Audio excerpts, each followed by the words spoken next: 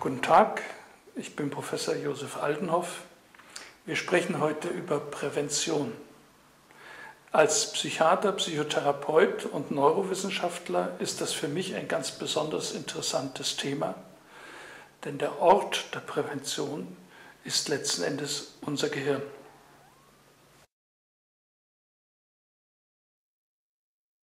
Es ist einfach ein Unterschied, eine Erkrankung in der Frühphase zu erfassen und diagnostizieren zu können, bevor sich der ganze Organismus, bevor ich mich in meinem ganzen Erleben auf diese Erkrankung eingestellt habe und früh einzugreifen.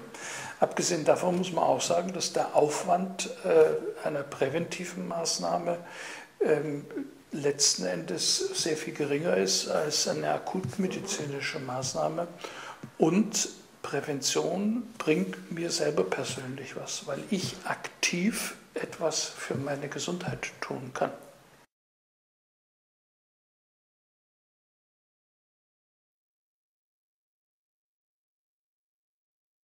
Die Prävention seelischer äh, Probleme, seelischer Störungen ist mindestens genauso wichtig, weil die seelische Störung zu den häufigsten Erkrankungen mhm. überhaupt gehören.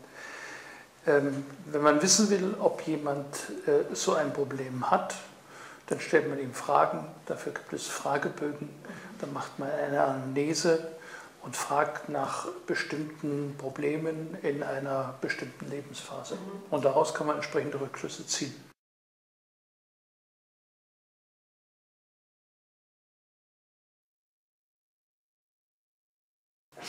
Es ist ein Aufklärungsproblem. Also um dieses Beispiel zu nehmen, was ja auch oft in der Presse ist, die Sache mit dem Darmkrebs. Sie können Darmkrebs mit einer wirklich einfachen und kaum beeinträchtigten Untersuchung der Koloskopie können Sie ausschließen. Und die Männer müssen eben jetzt informiert werden, was der Gewinn einer solchen Maßnahme ist im Vergleich zu den Nachteilen, die man wirklich vernachlässigen kann.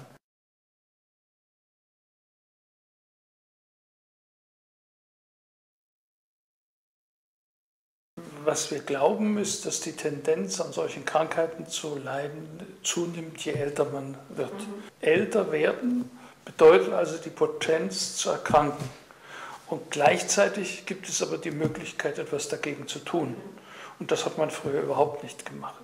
Diese positive, aktive Einstellung dem Altern gegenüber, die gleichzeitig eine präventive Wirkung hat, die ist etwas Neues. Das Ziel ist ja, dass man mit Lebensqualität altert. Und das setzt aber voraus, dass man einen entsprechenden Trainingszustand hat. Das Nachhaltigste, was man machen kann, Bewegung in jeder Form.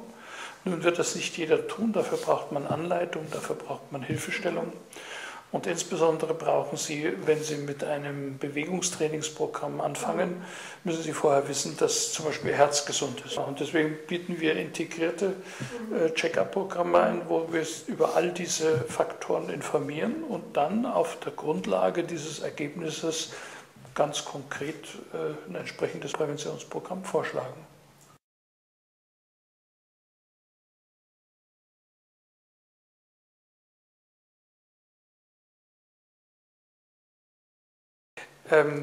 Bei Präventionsprogrammen ist es ganz ausschlaggebend, dass man die nicht von der Stange kaufen kann, also ein Programm für alle, sondern dass man die individuell für die individuellen Bedürfnisse, und die kann man bei einem Check-up ermitteln, mhm. äh, zuschneidet und dann aber auch für die individuellen Neigungen. Das Ganze soll ja auch noch einen gewissen Lustgewinn mit sich bringen.